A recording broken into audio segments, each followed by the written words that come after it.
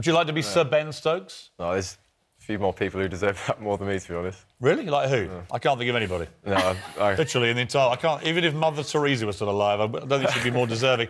well, we, what we have done though, you know, just in the meantime, as we wait for the inevitable honours to be lavished upon you, we have made you Lord Benjamin Stokes of the Principality of Sealand. This is an official title.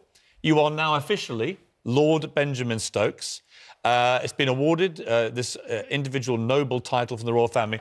And Sealand is a, a micronation and self-declared independent sovereign state founded in 1967. Its motto is Imare Libertas, from the sea, freedom. It lies six miles off the coast of Suffolk.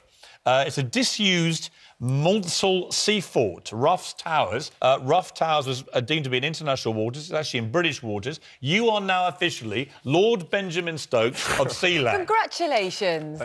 is this actually a real thing? It's a real thing. it's a real thing. I'm not sure. No, no, you can actually use the title. You are officially Lord Benjamin Stokes of Sealand. now, how do you feel about that? Um, oh, Benjamin Andrew Stokes is, is all right, Lord Benjamin. Yeah. Do you think you'll be going to, will you be going to Sealand much or not, now that we've, we've made you the Lord of it? I mean, the Lord should turn up occasionally. There it is. I mean, look at it. It's fantastic. Get yourself some headed notepaper. If you, ever want, if you ever want to get away from the media again, Ben, that's your place. Ben, can I ask you a question?